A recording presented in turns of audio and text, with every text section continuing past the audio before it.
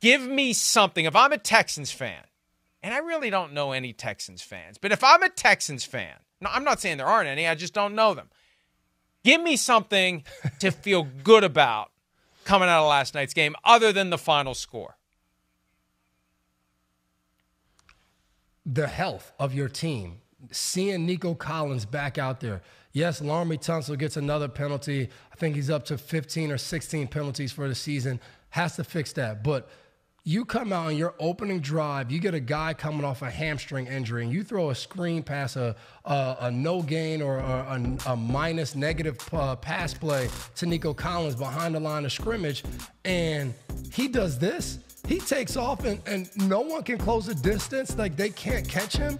I know all Texas fans are probably sitting there like, oh, don't, don't, no, don't go too fast to your hamstring.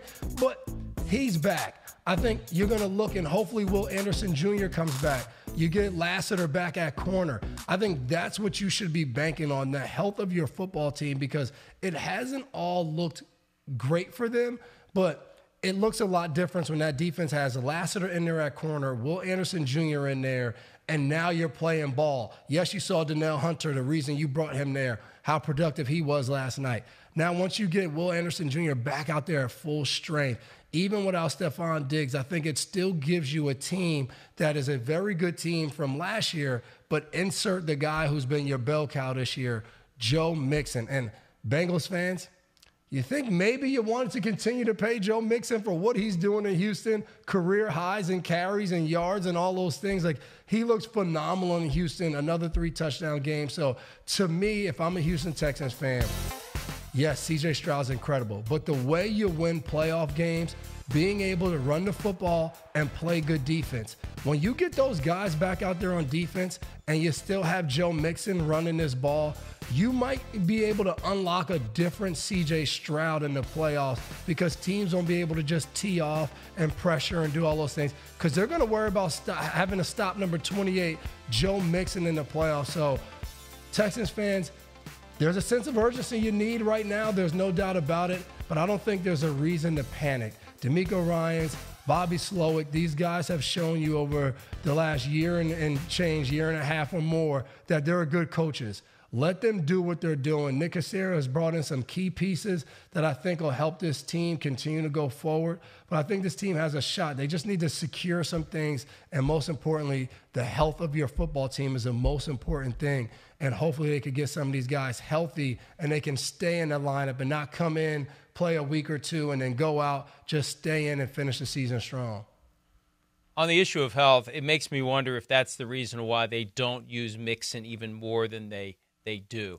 Against the Jets, I thought they really should have used him where he would add 200 rushing yards that night. They got away from it. And They were trying to throw the ball into the teeth of the Jets defense instead of just using what was working. Mixon was running great that night. He didn't run as well against the Lions, but he was awesome last night as well. They ultimately didn't need him to go out and have a huge game. He had those two runs early, but they need him to be healthy come postseason. And you fired another stray that really wasn't a stray at the Bengals.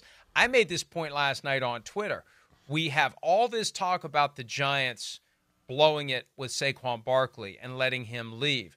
The Bengals were going to cut Joe Mixon. They ultimately traded him to the Texans. That should have been the clue to the Bengals. They're getting ready to cut this guy and dump his salary. And the Texans are like, "What? Wait, wait a minute. You, whoa, whoa, no, no, no, no! Don't cut him. Don't cut him. We'll trade for him." They gave him a new contract for crying out loud. And and the pushback I got from Bengals fans was our offense is good, our offense isn't the problem. If you had that presence of Joe Mixon, your offense is even better. And I don't want to fire a straight at Chase Brown or a direct shot, as the case may be. He's the guy who fumbled when you're up 21 7 in the third quarter and in full control of the game against the Ravens, and everything turned after that. Not that fumbles don't happen, but Joe Mixon is a higher level, and he still has it. They made the same assessment similar assessment to what the Giants made. We can find somebody else who can do what this guy does. And I think with Mixon, it was also part of he's he's in year eight. Let's go with someone younger. Yep. And they they they misplayed it. They'd be they would not be four and seven right now if they still had Joe Mixon in Cincinnati. And I agree with you. I think the Cincinnati move is worse because the Giants don't have a championship caliber team.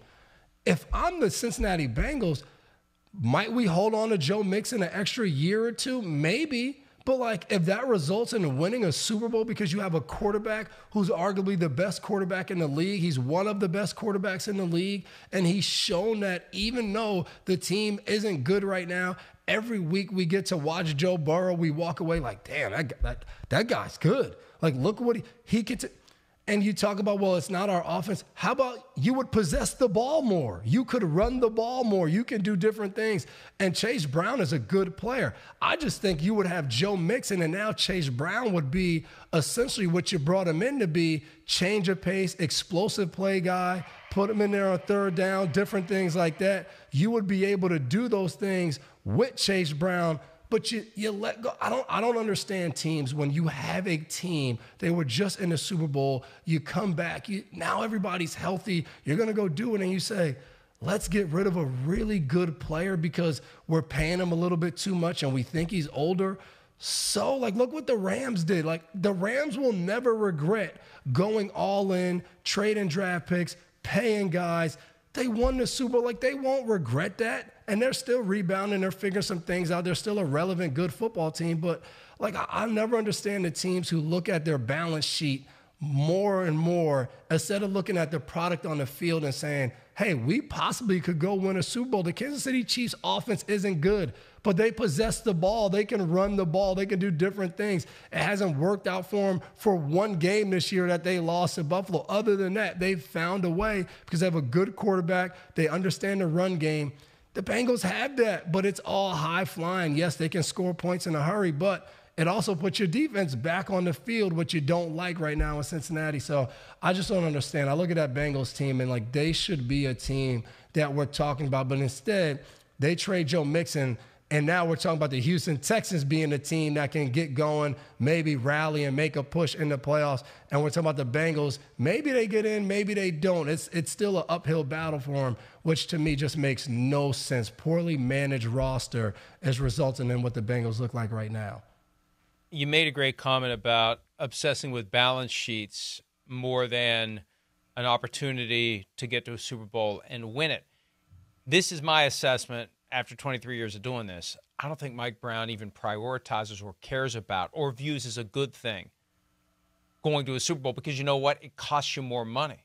How much more money do we make by going to the Super Bowl? Do we really make much more money? We have to spend more money. We got to take all those people for another game. Yeah, we get more money, but do we really make money? What's our profit? What's the difference between, at the end of the day, how much more money there is that came in versus what we put out? in a normal year, in a playoff year, one and done, in a deep playoff run, a Super Bowl appearance, I think at the end of the day, it's not any more profitable. It may be less profitable. So, all the more reason to obsess over the balance sheets because why are we going to prioritize the thing that's going to cost us more money anyway? Hi, it's Mike Florio. Thanks for watching PFT on YouTube. Hit subscribe for the latest news and analysis from Pro Football Talk.